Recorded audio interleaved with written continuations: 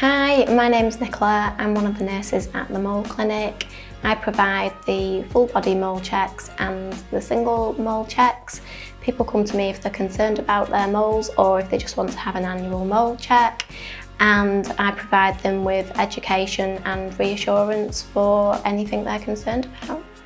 The full body mole check is a screening service that we provide where the nurse will look at everywhere on your skin and anything that they think looks like it needs looking into further because it could potentially be sinister, then we would recommend a diagnostic report.